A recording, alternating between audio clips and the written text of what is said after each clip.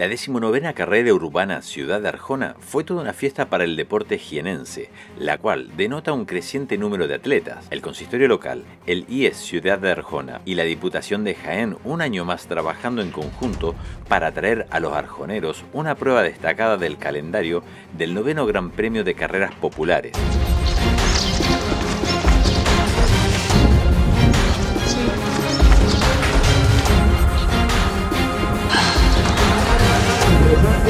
Se van a entregar unos 10-15 minutos.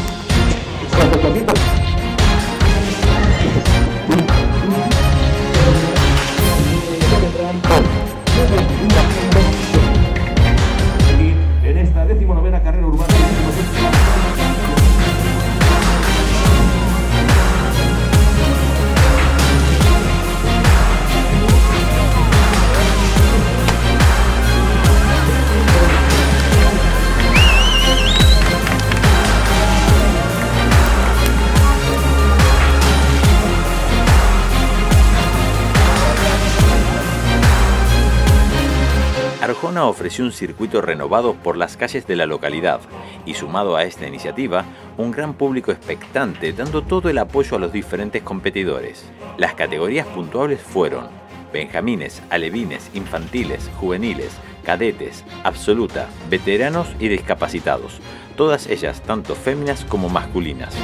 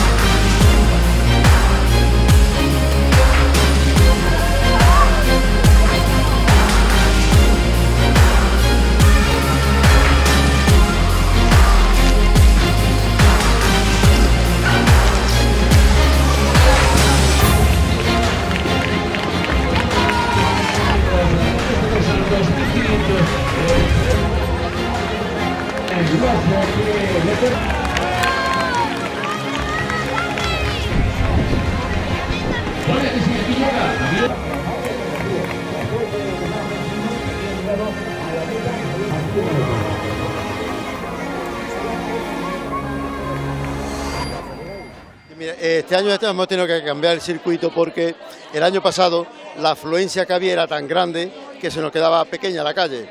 Además era un poco peligroso porque incluso había muchos corredores que tenían que subirse en las aceras. Este año hemos cambiado el circuito, solamente la salida y el circuito se hace al contrario, con lo cual prácticamente es el mismo, pero la salida es técnicamente mucho más, más llevadera y con menos peligro para los atletas. Nosotros estamos muy, muy contentos con Diputación, muy contentos con el alcalde, con la alcaldía, no solo con Juan, antiguo alumno nuestro. Esto sería imposible, esta infraestructura, sin Diputación y sin alcaldía, o sea, totalmente imposible. La carrera ocupa en el calendario el día viernes 5 y fue por la tarde, donde el clima fue ideal para el desarrollo de las pruebas y con una marcada asistencia del público a lo largo del nuevo recorrido. En la categoría general se marcaron dos nombres, Cristóbal Ortigosa Pareja y Lola Chiclana, siendo claros vencedores de la decimonovena carrera urbana Ciudad de Arjona.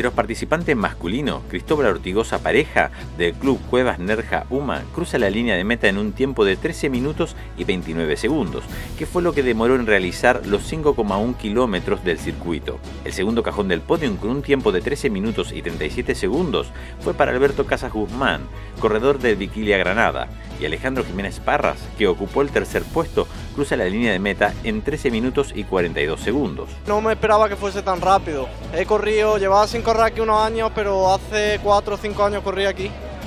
Y fue un circuito duro y este año en cambio ha sido muy rápido. El circuito, pues he corrido 7 carreras, he ganado 7 veces, espero acabarlo pronto y con una victoria.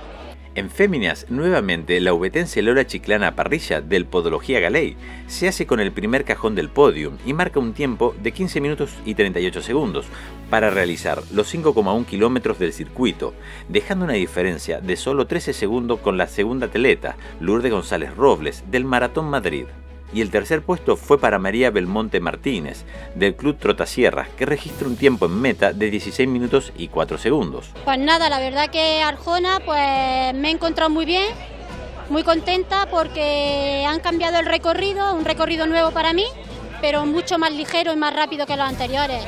Y la verdad que como estoy entrenando bastante fuerte para ponerme fuerte para los campeonatos de Andalucía y de España de veteranas, pues la verdad que me encuentro muy fuerte. Y, ha sido una carrera bastante rápida y sobre todo que la ha llevado muy controlada, muy controlada y muy bien. Quedas primera de las generas con el nivel que había hoy, estoy contentísima.